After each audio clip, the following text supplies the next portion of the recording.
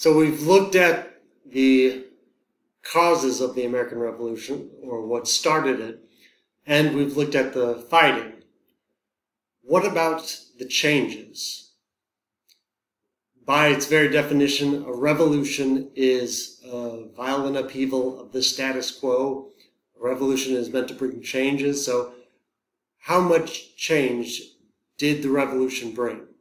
And in order to answer this question, we will look at three things the Declaration of Independence, the new state governments that were established when they went from colonies of England to state governments, and the first Constitution of the United, States, the Articles of Confederation.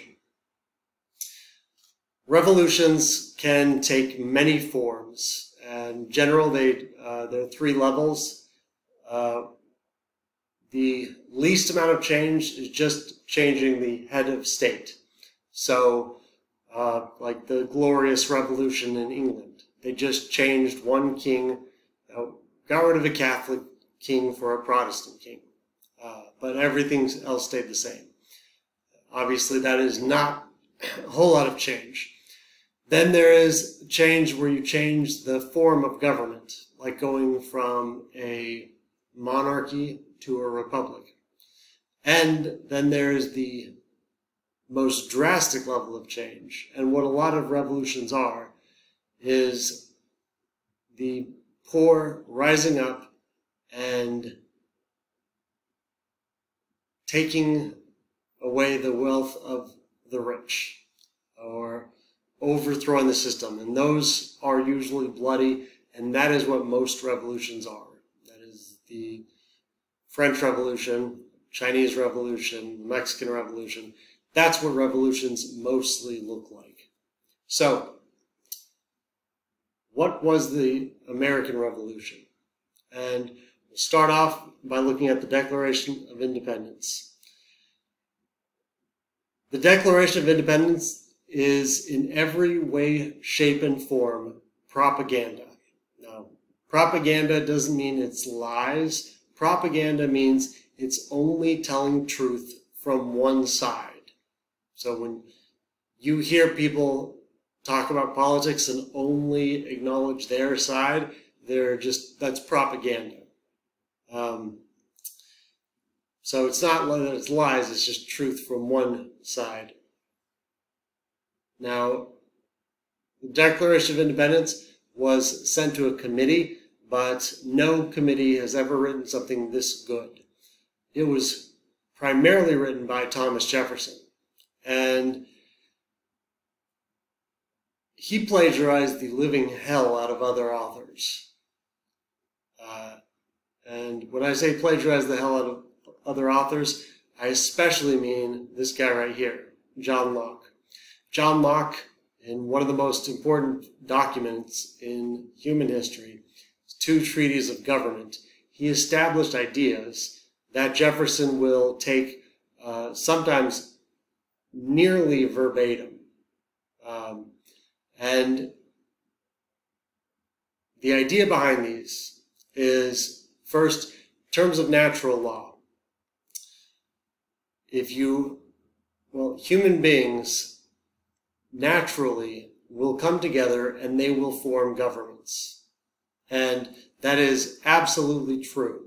Humans will naturally gather together and form some sort of a government. That is why humans were able to overcome much bigger animals.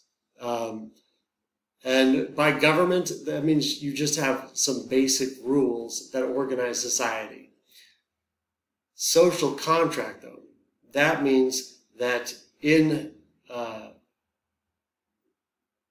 the state of nature has a law of nature to govern it, which obliges everyone, and reason, which is that law, teaches all mankind who will but consult it, that being all equal and independent, no one ought to harm another in his life, health, liberty, or possessions. Uh, we come together and form a contract, and we all agree on that contract to form a society. So, what he is calling for here is a democratic form of government. And his ideas will be, well, the ideas are absolutely fundamental to the Enlightenment era. His writings will inspire Alexander Hamilton, James Madison, Thomas Jefferson, all the founding fathers read his work. All the Enlightenment thinkers read his work. Benjamin Franklin, uh, who was, again, one of the most influential pieces of work. And so Jefferson, he wasn't even uh, shy about the fact that he plagiarized the hell out of it. My purpose was not to find out new principles or new arguments never before thought of, not merely to say things which had never been said before, but to place before mankind the common sense of the subject, subject in terms so plain and firm as to command their assent. So he does a phenomenal job about taking John uh, Locke's work, which is dense and a lot of words, and he condenses it down and makes it so simple that people all over the world can understand it. And the way he lays it out also, it is, even at the time, it was really hard to say he was wrong. That is what you call a logical argument or a logician's argument, setting up your evidence so people cannot say you are wrong. And in that sense, it is absolutely brilliant. Now, in order to really understand the Declaration of Independence, the most important part is the first part of the second paragraph. We hold these truths to be self-evident that all men are created equal, that they are endowed by their Creator with certain unalienable rights, that among these are life, liberty, and the pursuit of happiness, that to secure these rights, governments are instituted among men deriving their just powers from the consent of the governed. And from that one part, we get the most important ideas and the framework for what the United States will become, because the implications are profound. First, to secure these rights, governments are instituted among men, deriving their just powers from the consent of the governed. What he is calling for here is a government that gets its power from the consent of the governed, from the population. Now, today that does not sound like a big deal, but back then it is a really big deal. Remember, this is a period where the world is full of monarchies. Monarchies derive their powers from God. The king gets his power from God. And so while this does not sound like something radical today, it is very radical for the time. He's calling for a democratic or a republican form of government. Uh, so within democratic system, you have wide variations. Obviously, in the beginning of the country, uh, only white men, only white male landowners could vote. Uh, so that today would not be considered democratic, but for the time, and that is so important to remember, this is a very radical concept that people, uh, citizens, give the government its power. So this first thing is a republican form of government. Second, that among these are life, liberty, and the pursuit of happiness. Now, in John Locke's work, he uh, says several places either life, liberty, or possessions or estates. Uh, life, liberty, or property is what John Locke says the purpose of government is. Why did Jefferson change this? Because property is a zero sum thing. Uh, if I have a piece of land, you cannot have that piece of land. If you have a dollar, I do not own that dollar at the same time. So property, that's zero sum. Happiness is not. Happiness is individualistic and everyone can pursue happiness the way they want to without encroaching on other people's happiness. And so that is a very individualistic idea. Jefferson was very individual individualistic. He prized individualism. And so before this, uh, governments, it was assumed citizens were meant to do what was good for the empire. Jefferson is calling for a government whose purpose is to help individuals find happiness. That is an insanely radical idea. Um, and it had never been, that concept had never been tried before. And that especially is important to the United States because the United States is such an individualistic nation. Again, it is one of the reasons, big reason the United States has become the world superpower when not taken too far. Individualism is a phenomenal thing.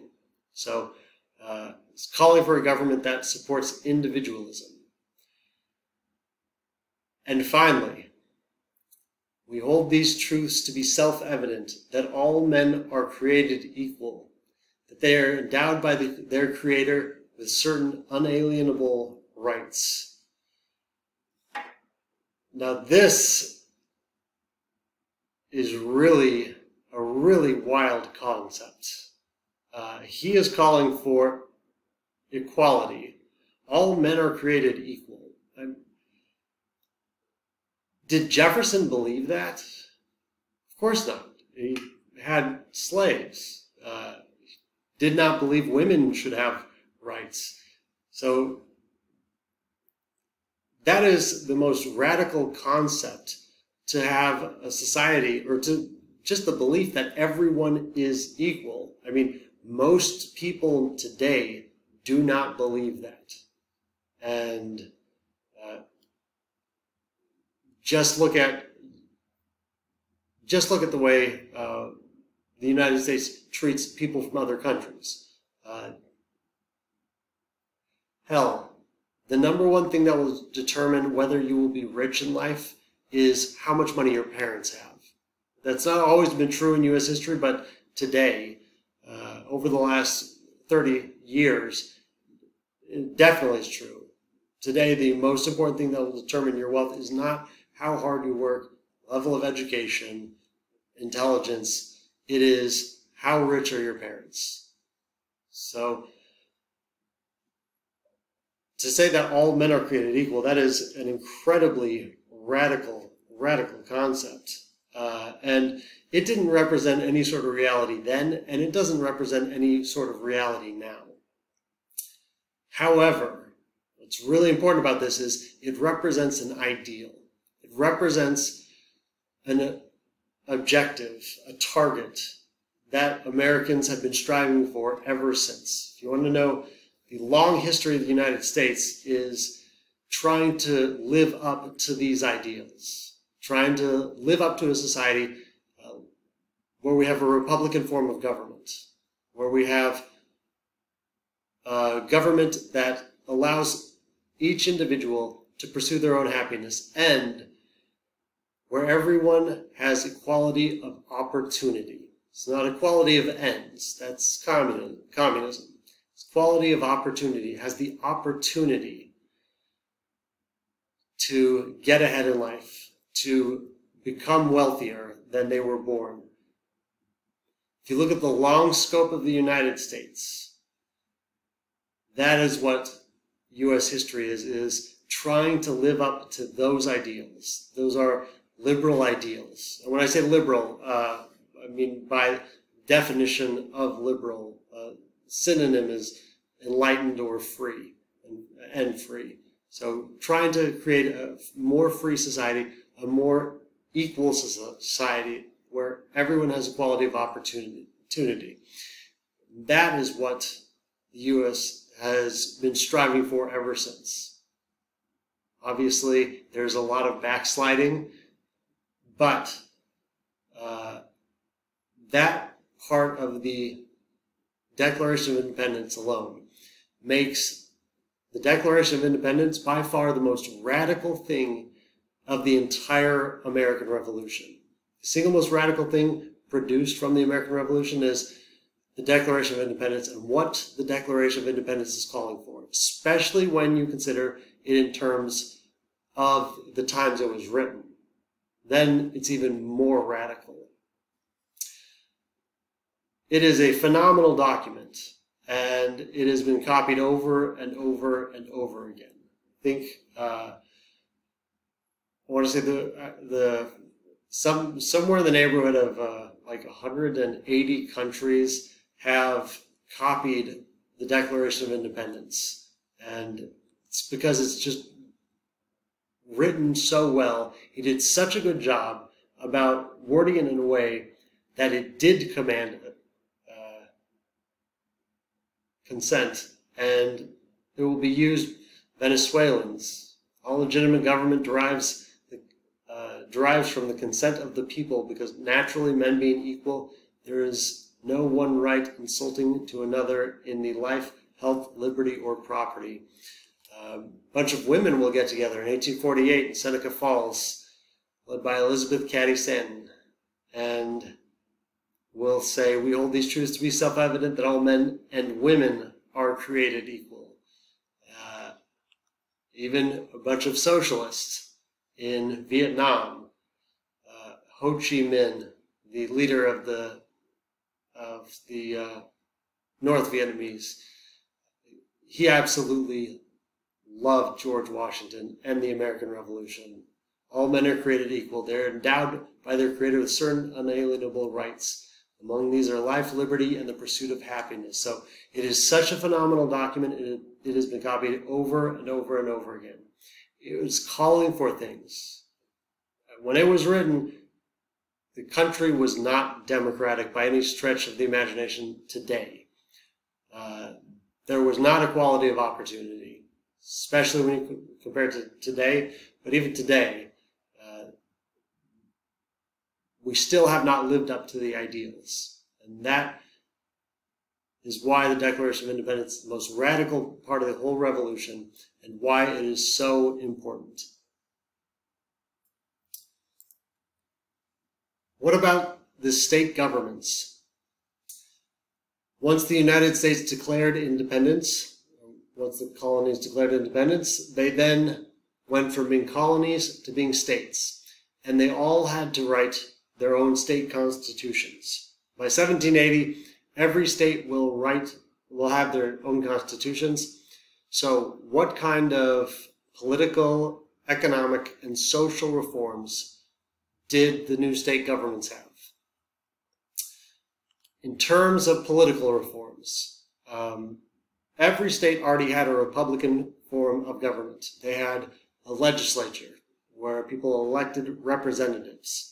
And there were no hereditary positions. You had to be elected. So you didn't automatically get to have power um, just because your family member did. And uh, they, in most states, they put the vast majority of power in the legislatures. And the reason they did that is because under the monarchy, when they were colonies, the king always someone appointed, usually the governor, uh, that represented the king that would try to take power from the colonies. And it was the legislatures that defended that power. So in most of the governments, state governments, they made the governor insanely weak, and they put all the power in the legislature. Now, because all the power is in the legislature, that means it is closer to the people. So it is closer to individual citizens, which means it is a more democratic system.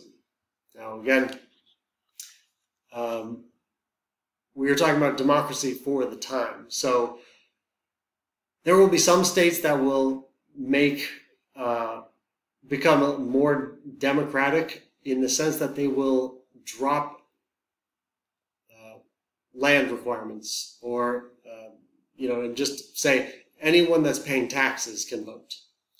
But none of them obviously allow women or anyone that's not white to vote.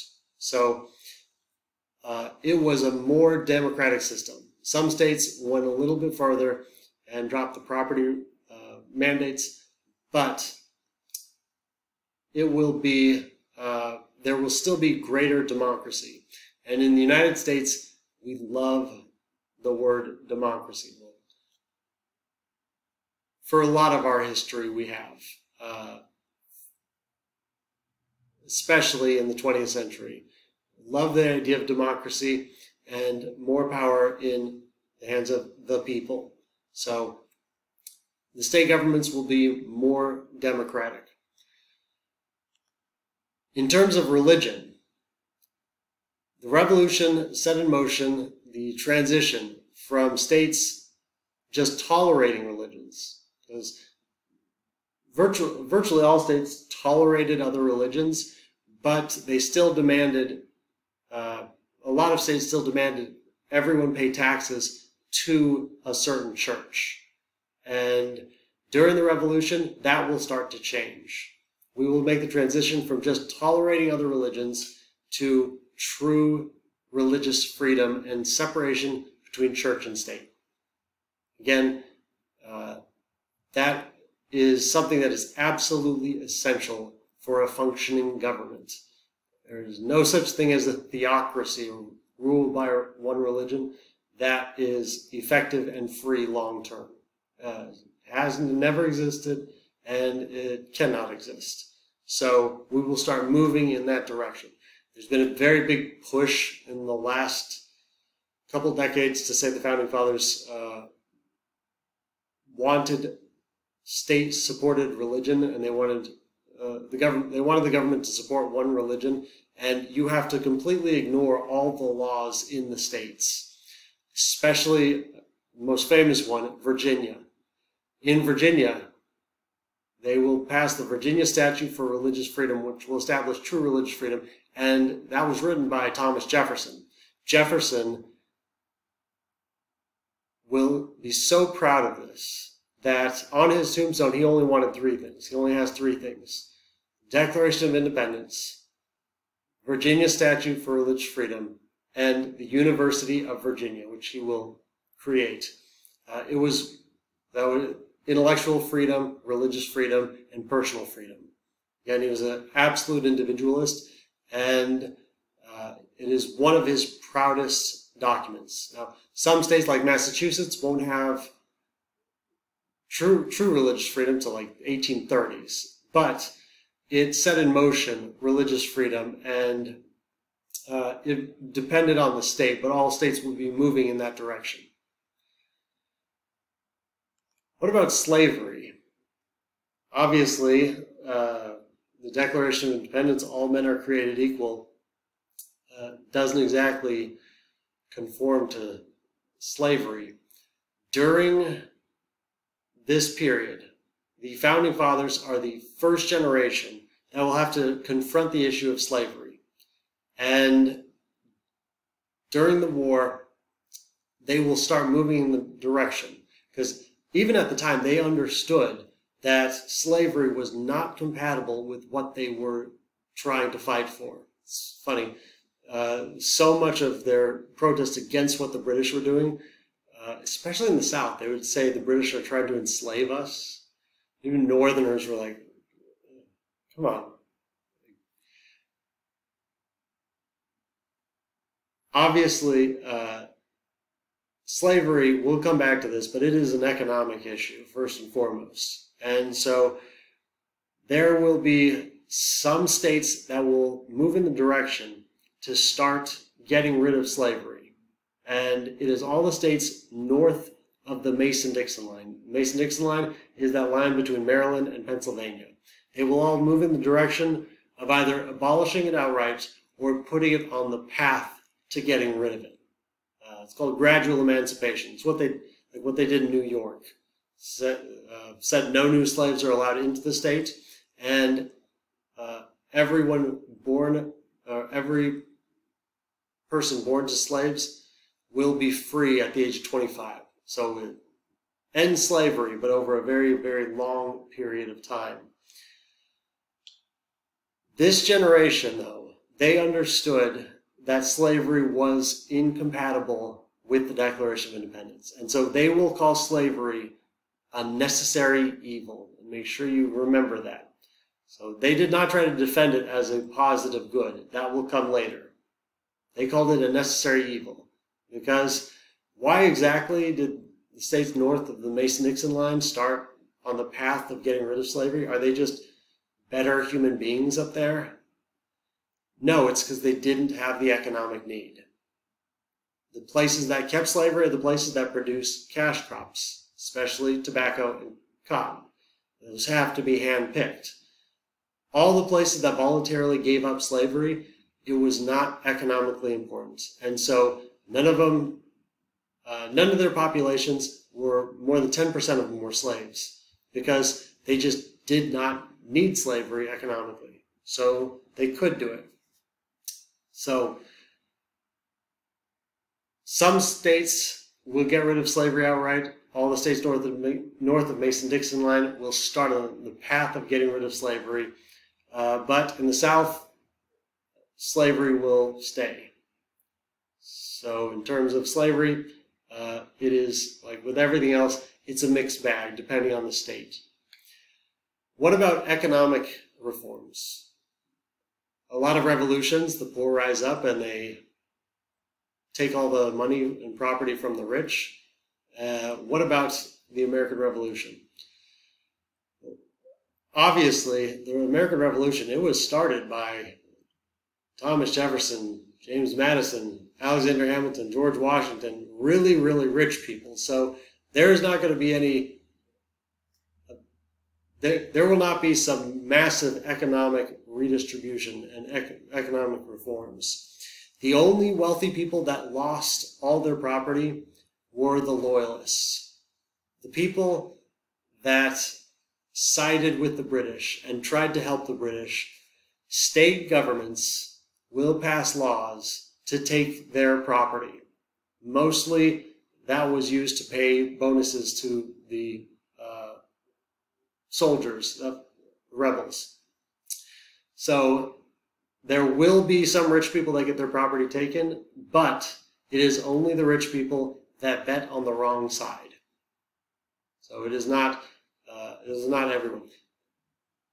Just random side note. The absolute most vicious, bloody, and horrible fighting was not between the British and the Americans. It was between the rebels and the loyalists. And that fighting, it got really vicious and ugly. So there is not massive economic reforms. Some people lost everything, but it's because they sided with the enemy. What about women? Before the war, women couldn't vote. They couldn't. Um, they weren't allowed to preach in most places. They couldn't hold any political office. Uh, they didn't even own property. They didn't own their children. They had no legal rights at all. There will be women that will fight for more rights, most notably Abigail Adams. Uh, if you want to know the greatest love story in one of the greatest love stories in all of U.S. history, it's John and Abigail Adams. If you ever have a chance, uh, watch the John Adams miniseries on HBO it's HBO, so like somehow they managed to just pee on a piece of paper and it turns into gold. But John Adams miniseries is absolutely phenomenal, and their relationship is so great. They would, uh, they were best friends, and they genuinely loved each other.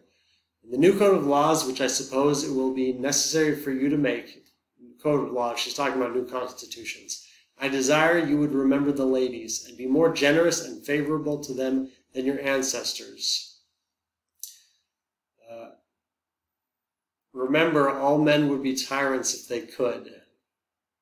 This is Adam's response to his wife that he loves dearly. Depend upon it, we know better than to repeal our masculine systems. Thomas Jefferson, the guy who was obsessed with, you know, liberty and freedom and individual rights. Tender breasts of ladies were not formed for political convulsions. Women will get nothing. Women will get absolutely nothing. Uh, government starts supporting, they start promoting what they call Republican motherhood, which means, hey, just have a bunch of babies. We need more people. So, you know, women will get the right to have, do the same thing they had already been doing, which is have a lot of babies. So, in terms of the economic, political, and social reforms, it is not revolutionary. Uh, it is not a massive change or massive disruption at the state level. So, what about the first Constitution of the United States? The Articles of Confederation. The Articles of Confederation were uh, created in 1777 and they will go into effect in 1781.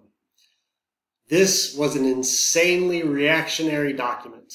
And by reactionary, what I meant is it was not thought through very well and it was created in reaction to the government that the Amer- uh, population had just left, which was the monarchy.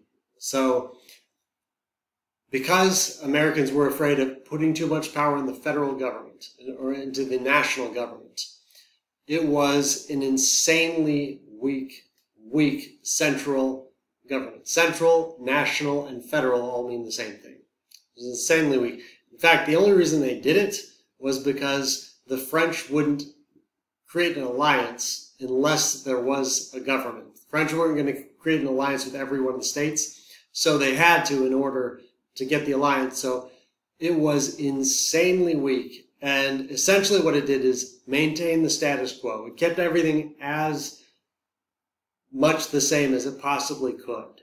Um, in terms of the government, it had a what's called a mono legislature. So, uh, you know, bicameral legislature is two houses. It's a mono legislature, so there's one body, and it's not even representative. Every state has one vote. So it is an uh, insanely weak, weak document. According to the articles, govern, uh, federal government had a few powers. One, the power to uh, over war and peace. So only the uh, that one mono legislature can declare war and peace.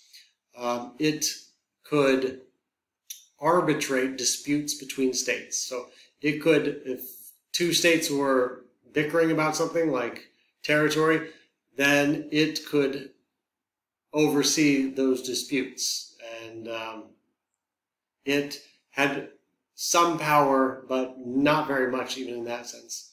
It had the power to coin money. It had the power uh, over the postal service and um, Indian affairs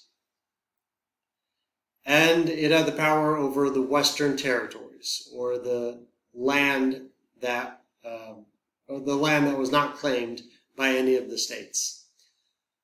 However, it had so many weaknesses. So besides being a mono legislature that wasn't even representative, every state has one vote, regardless of the state size. Uh, there is no chief executive, so there's no president. There's no national court system. So that means every state gets to interpret the laws how they want.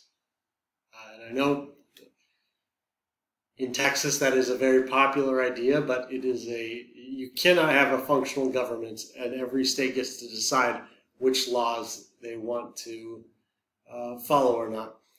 No power of taxation. Again, it's one of those things that people think sounds like a good idea, but you cannot have a government that doesn't have the power to tax. So the government can declare war. It will not have the power to raise money for that war. So it is, and we'll see in the next lecture, if the government cannot raise money to, for the war, it cannot fight a war because it cannot, it can't pay the soldiers. So that was a disaster throughout the entire American Revolution. It was just just funding. All the funding had to come from loans from other countries. Um, no power to regulate interstate foreign commerce. That was also a disaster. So every state would have to work out trade deals with England, and as we'll see later, uh, England will take full advantage of that and punish certain punish certain states uh, that it was particularly angry at, like Massachusetts. Uh, and most importantly, any amendment to the articles required unanimous approval from the states. So all 13 of the states had to agree to a change. And obviously, that just was not going to happen. Uh, so the federal government essentially had no power. Now, this did represent the most pragmatic solution in a time of war. So it is easy to criticize the Articles of Confederation, and it will prove to be a very ineffective government. But it was passed in order to get an alliance with France during the war, and there was not time to work out all the kinks.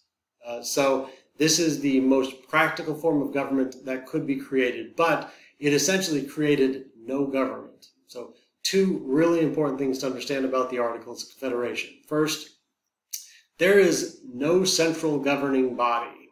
There is no federal government. It basically kept all the power in, kept all the power in the states, uh, like it had been uh, essentially before. Now there is no king, though. So there is no central government. And there are a lot of people I have had in graduate classes. I had a lot of classmates that would say, like, oh, no, the articles were a great government. Uh, the reason they said that was because they were libertarians.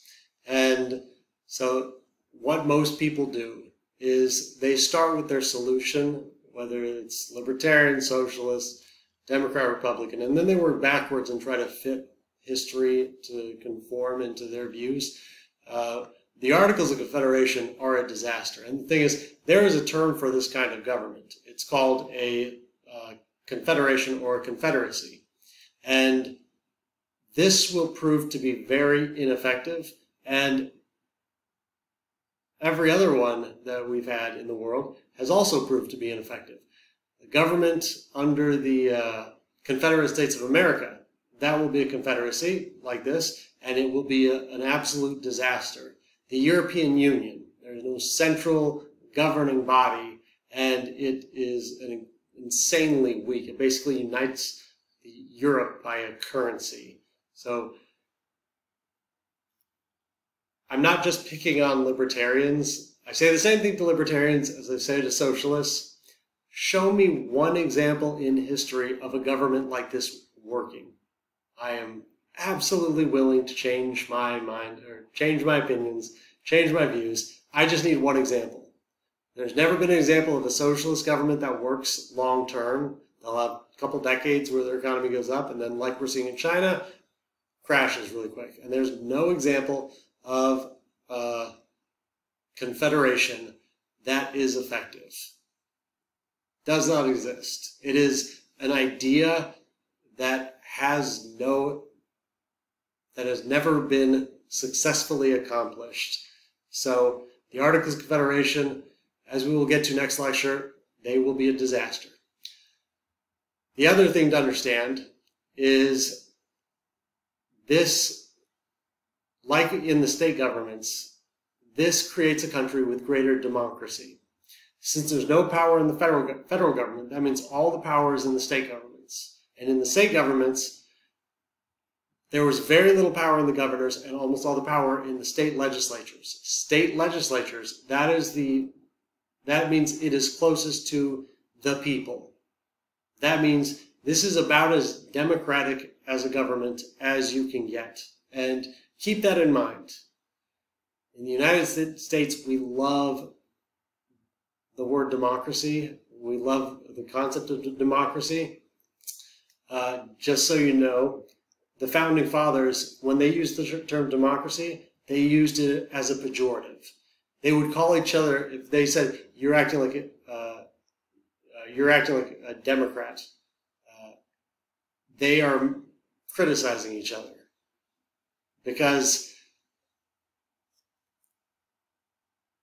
dictators use the rhetoric of democracy. dictators are the ones that would say like, "Oh, you people are you're all perfect, and I'm going to give you everything you want," and that's how they would get people to support them. So what they would call each other uh, Democrats, and they're basically saying you're acting like a dictator. You're acting like a, a wannabe dictator. You're acting like uh, someone that's an authoritarian. It's not until Andrew Jackson that the word democracy starts becoming a good thing, and we will get to that later. So, overall, the American Revolution had some changes. Uh, it was a political change. The United States went from being a monarch, well, it was a colony of a monarchy, to a republic. However, that is about the extent of the change. In terms of the economic, political, and social changes, those only happened at the state level, and at the state level, it varied. It varied between the states, but there was not a lot of change even at the state level. The federal level, the national level, there was virtually no change, and at the state level, there was very little change, and it depended on which state you were talking about. And this should make sense, though, because the American Revolution, it is a conservative revolution. And sounds like an oxymoron, but it is a conservative revolution in that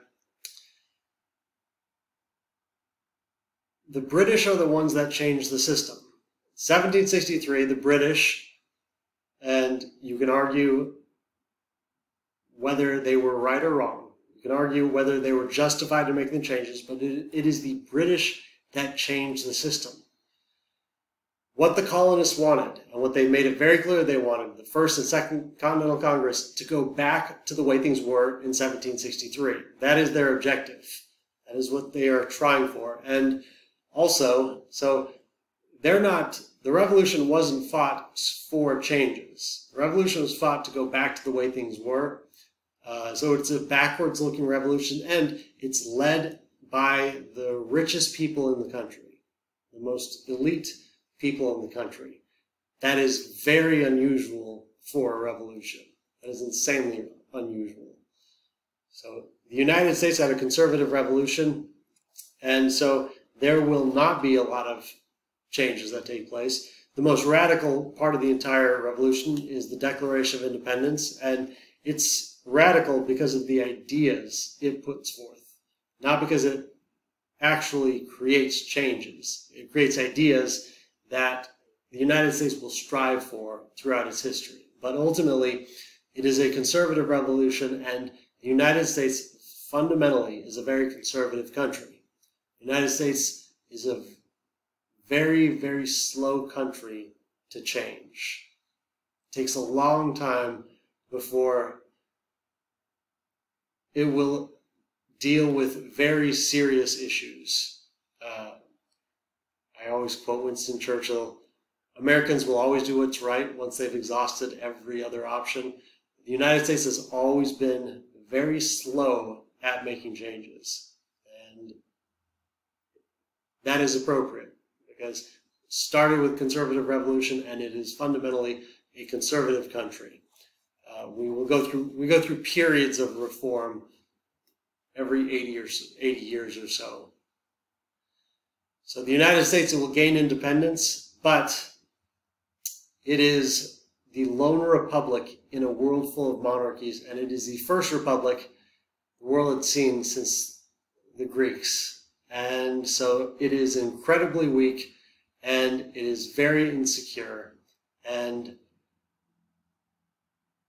we will get to next lecture what the U.S. was like under the first Constitution, the Articles of Confederation, and why ultimately the people we call the Founding Fathers will create the Constitution that creates a much stronger national government.